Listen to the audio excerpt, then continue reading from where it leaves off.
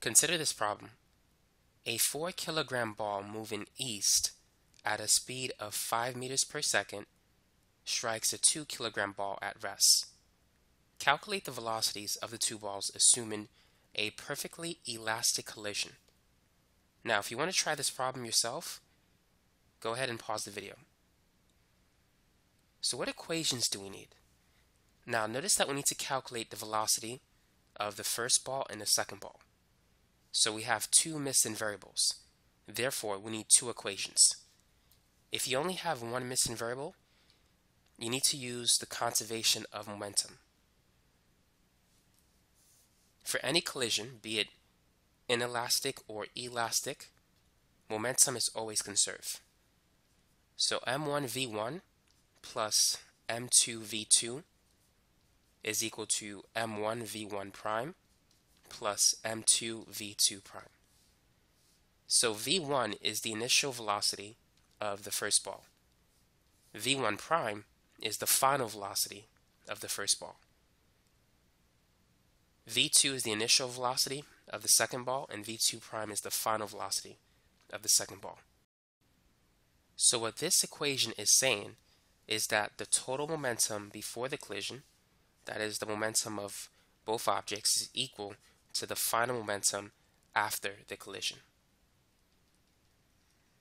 Now, if you have just one missing variable, this equation will be enough to solve for the missing variable.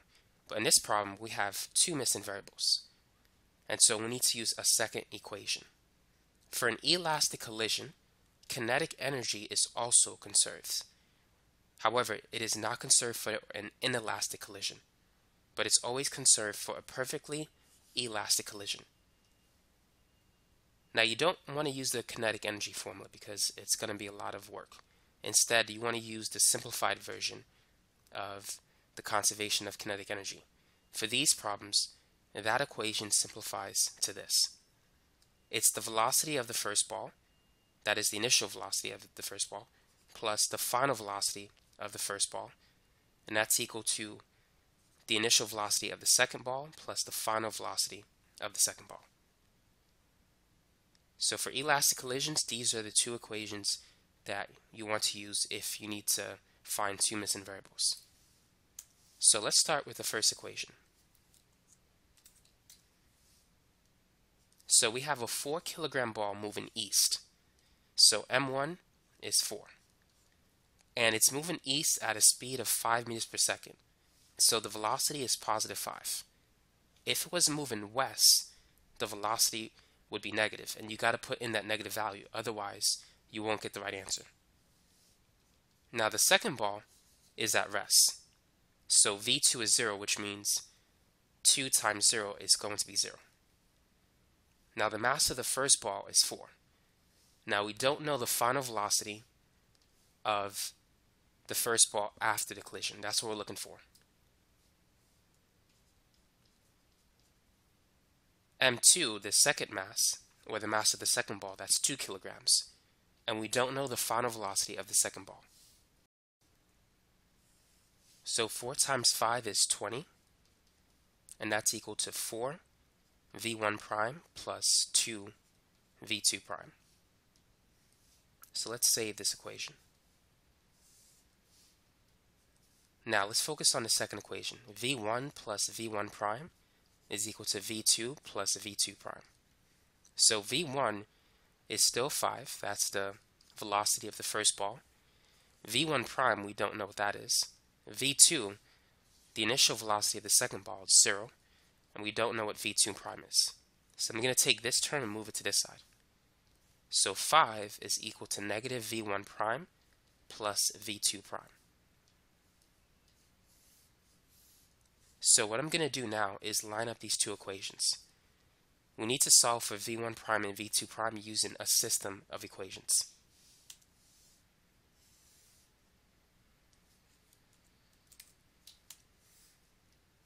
So this is going to be 4 v1 prime plus 2 v2 prime is equal to 20 and negative v1 prime plus v2 prime is equal to 5.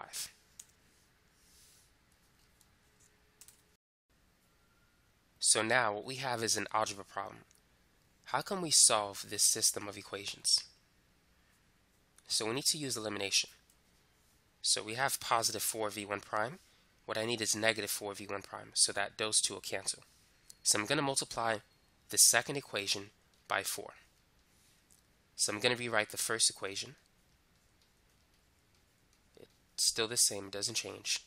And the second equation is going to be negative 4 v1 prime plus 4 v2 prime. And 5 times 4 is 20. So now let's add these two equations. 4 and negative 4 adds up to 0. 2 plus 4 is 6. And 20 plus 20 is 40. So now what we need to do is take 40 and divide it by 6. So V2 prime is 6.67 meters per second. Because it's positive, that tells us that the second ball is moving to the right with that speed. So now let's calculate V1 prime using this equation. So if negative V1 prime plus V2 prime is equal to 5, what I'm going to do is take this, move it to this side. So it's going to be V1 prime but positive. I'm going to take this number and move it to that side. So it's going to turn to negative 5. So it's a V2 prime minus 5. So V1 prime is going to be V2 prime, which is 6.67 minus 5. So that's 1.67 meters per second.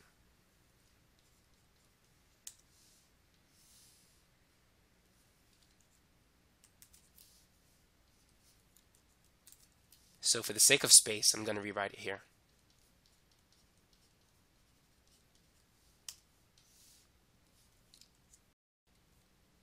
Now, how do we know if we have the right answer? Well, we need to make sure that momentum and kinetic energy are conserved in this problem. So let's start with momentum. m1v1 plus m2v2 has to equal m1v1 prime plus m2v2 prime. So the mass of the first ball is 4, and it has a velocity of positive 5. The second ball is at rest, the mass of the first ball is still 4, but its final velocity is 1.67. And the second ball has a mass of 2 with a final velocity of 6.67. Now 4 times 5 is 20. And 4 times 1.67 is 6.68. And 2 times 6.67 is 13.34. Now if we add 13.34 with 6.68, that's going to be about 20.02, which is approximately equal to 20. So that's good enough. There's going to be some rounding error, but if it's close enough, then you know you did it correctly. So momentum has been conserved. That's a good sign. So now let's make sure kinetic energy is conserved. We're going to do it two ways. The most simplest way is to use this equation. V1 plus V1 prime has to equal V2 plus V2 prime. So V1 the initial velocity of the first ball is 5. v1 prime is that value, that's 1.67. The initial velocity of the second ball, because it was at rest, is 0, and v2 prime is 6.67. Now 5 plus 1.67 is 6.67. So kinetic energy is conserved. Now let's confirm it using a more familiar equation. Let's use this one. The kinetic energy of the first object, the first ball, is 1 half m1 v1 squared, and the kinetic energy of the second ball is, well, that's supposed to be m2 v2 squared. And this is going to be equal to the final kinetic energy of the first ball, which is 1 half m1 v1 prime squared, plus the kinetic energy, the final kinetic energy of the second ball, which is 1 half m2 v2 prime squared. So this is going to be 1 half times a mass of 4 times an initial speed of 5. Now once you square v, the speed doesn't, the velocity doesn't matter in terms of the sign. If you use a negative or positive 5, when you square it, it's still 25. So kinetic energy is always positive. The mass of the second ball is 0, but its initial speed is 0. So its kinetic energy on the left side is 0. Now the final speed of the first ball we have 1.67. And the final speed of the second ball is 6.67. So 5 squared is 25 times 4, that's 100, times 0.5. So this is going to be 50. And this is, that's going to be 0. And then 1.67 squared times 4 times 0.5. That's 5.5778. And then we have half times 2 times 6.67 squared, which is 44.4889. So if we add that to 5.5778, you should get 50.0667. So that's approximately equal to 50. So therefore, we can see that kinetic energy is indeed conserved, which means these two answers are correct. So those are the final velocities of the two balls mentioned in this problem.